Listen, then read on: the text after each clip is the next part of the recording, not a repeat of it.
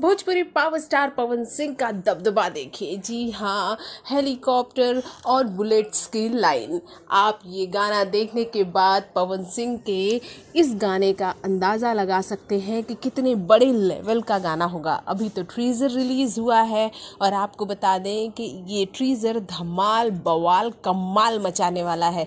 साथ ही साथ पवन सिंह का जो ये गाना है, इस गाने में जिस तरह की एंट्री ली है पवन सिंह ने, वो धासु है। गाना पाँच तारीख को रिलीज़ कर दिया जाएगा, जिस दिन पवन सिंह का बर्थडे है।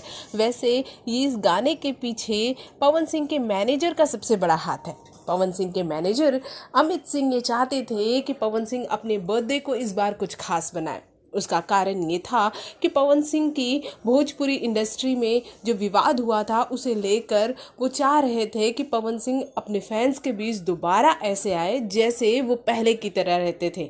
यानी कि वो ज़्यादा नहीं बोलते, सिर्फ़ काम उनका बोलता है तो ठीक उसी तरह से पवन सिंह आए और लोगों में अपना जो भौकाल है, वो बना कर रखें। इसलिए इस गाने को बहुत बड़ा बनाया गया है। इसमें पवन सिंह की फेवरेट डिम्पल सिंह को लिया गया है। डिम्पल सिंह आजकल अक्षरा सिंह के जो विवाद है, जो अक्षरा सिंह को उन्होंने बहुत कुछ बोला है, उसे लेकर चर्चाओं में है। क्या कहेंगे आप पवन सिंह के इस ट्रीजर के बारे में? कमेंट बॉक्स में कमेंट कीजिए, साथ ही चैनल को सब्सक्राइब करना बिल्कुल ना भूलिए।